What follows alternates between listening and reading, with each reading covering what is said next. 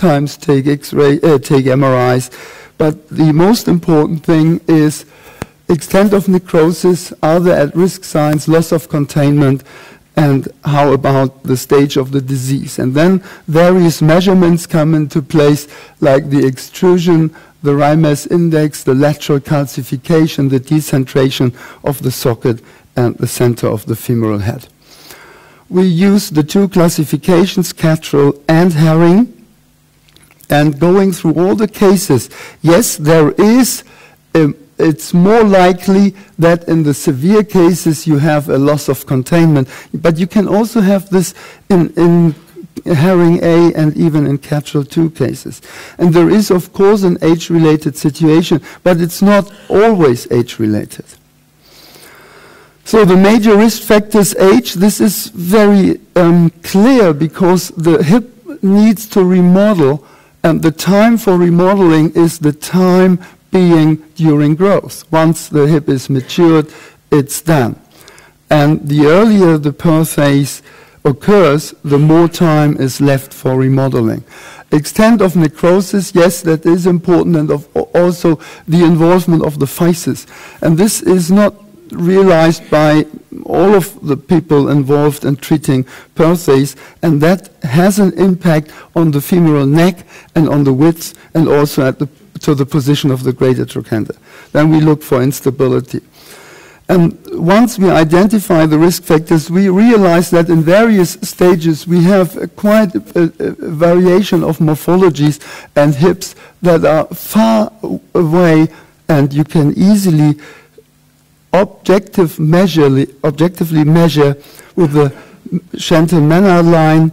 Um, you can go with the distance to the metaphysis in, in, in comparison to the to the normal side and the socket and the femoral head. And then you get various parameters pre-op compared to the healthy side.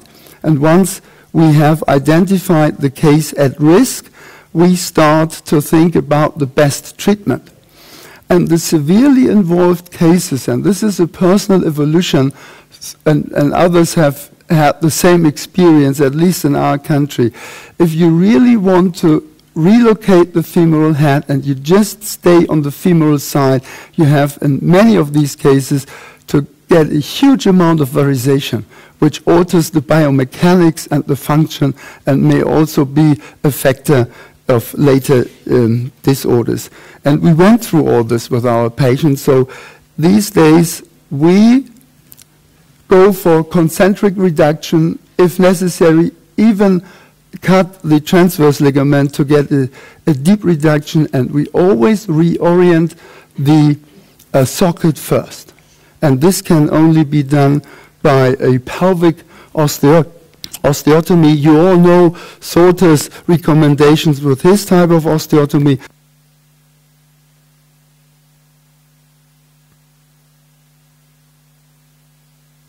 We did this um, a couple of years called the super containment operation, but then we decided to go to a pelvic triple more than 10 years ago.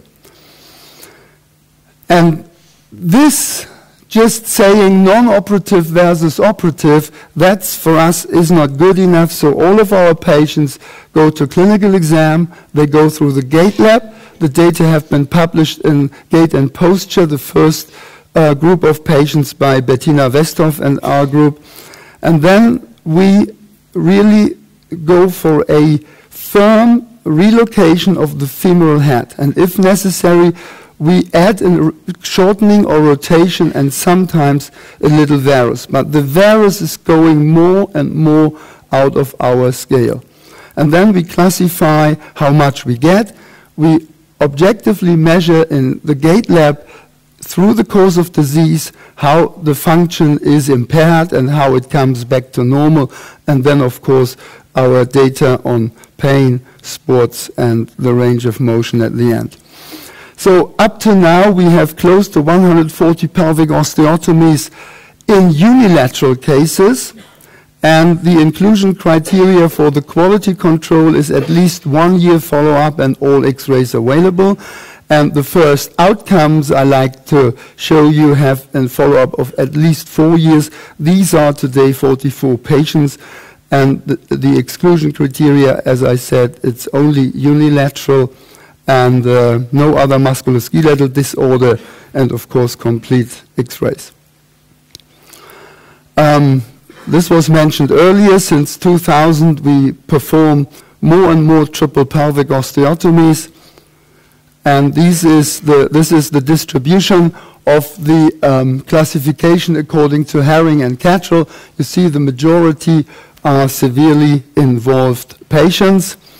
And if we look at the surgical technique, we had additional procedures which became necessary, three open reductions, um, and we had eight patients with an additional abduction brace.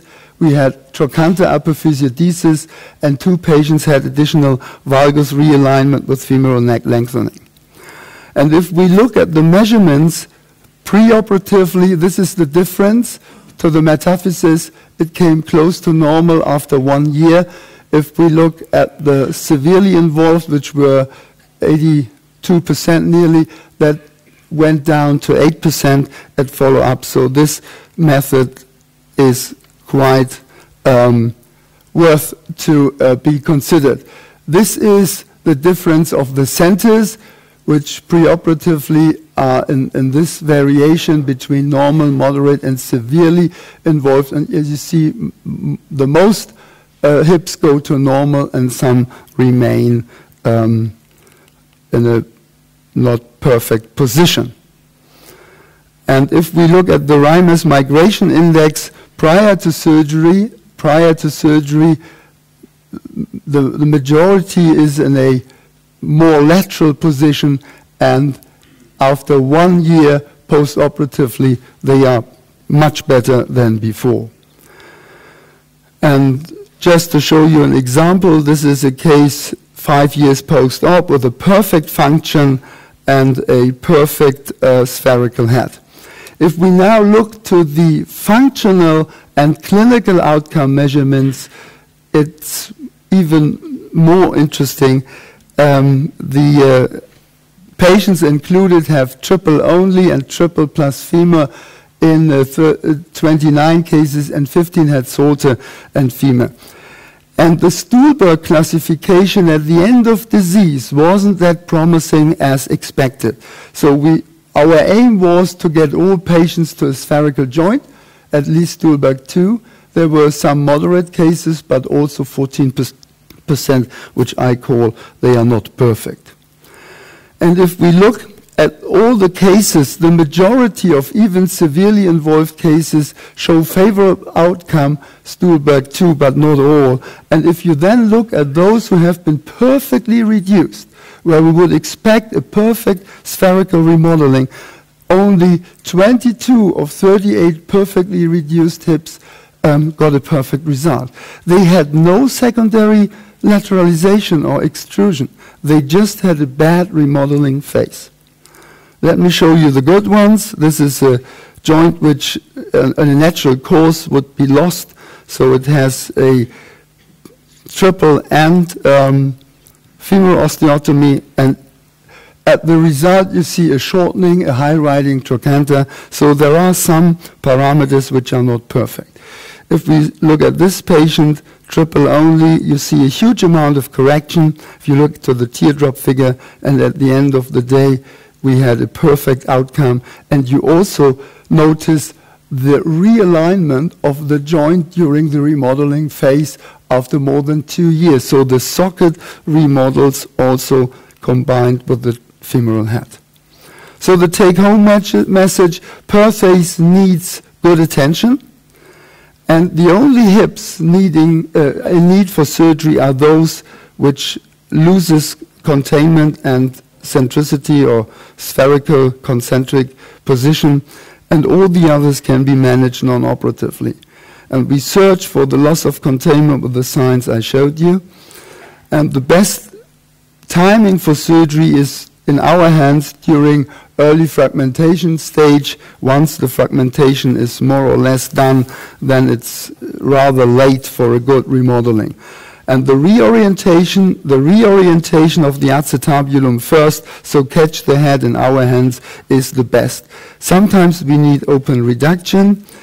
We may add femoral rotation osteotomy, and we consider in every single case um, the severity of physis involvement and consider apophysiodesis. And even severely involved with this regimen show favorable outcome, although not all perfectly reduced hip were perfect at the end. We watch out for all the cases and we'll see how they turn out at the end and then go back to a final analysis uh, to find more parameters which may um, explain this outcome. But in our hands, there is no place for nihilism. Also, in the very bad cases, we give the hip a chance. Thank you very much.